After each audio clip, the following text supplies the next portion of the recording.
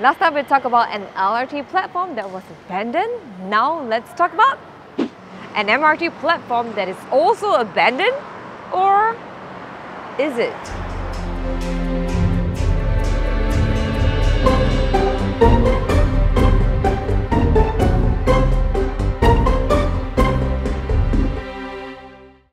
This is Circle Station.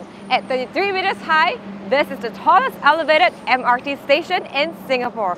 But that's not the only interesting thing. It's large enough to have two levels of platforms stacked on top of one another, just like City Hall and Raffles Place. But the odd thing is, why is it only half the platforms are in use? These two are just sitting there, empty and unelectrified. So, what were they actually meant for? All we know so far is that they were meant to cater for a planned branch line that would go towards Tuas South. But details of how the line would have looked like is still unclear. The closest information we could find is this map. Ta-da! Uh, is this map from the 2008 Land Transport Master Plan. This document showed plans for train lines that would be completed by 2020. Oops. The planned train lines were the Thomson and the Eastern Region Line, which would later be combined to the Thomson East Coast Line and this Tuas extension to the East West Line.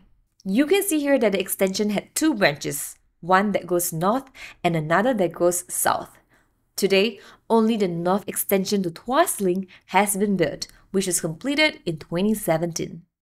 You can tell that this station was designed to be a massive interchange and a transport hub for the Tuas area.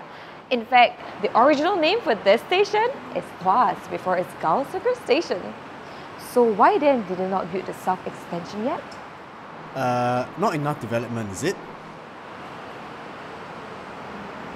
Although Tuas is an industrial area, which means there will still be workers traveling around, it's still not enough to justify building another MRT branch.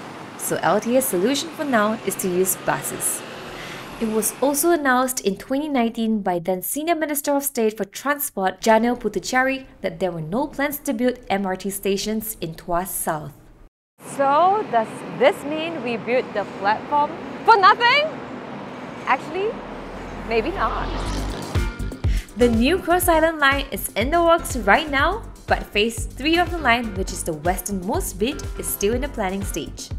The plan for the line, at least from what it looks like now, is to go past Tuas South and then terminate at Gul Circle. Hey, that's very similar to what the South Extension was meant to do. But here's the thing, as far as we know, the Cross Island line will be fully underground.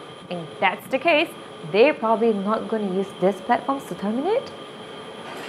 But even if they do, we now know that the rolling stock is completely different from the east-west line. Does it mean that they're going to turn on this platform screen doors and do them again? Well, at this point, we can only guess. After all, plans get changed or even get cancelled as per what we see in part 1. But one thing for certain is that Gul Circle Station will undergo a huge transformation in the next decade or so.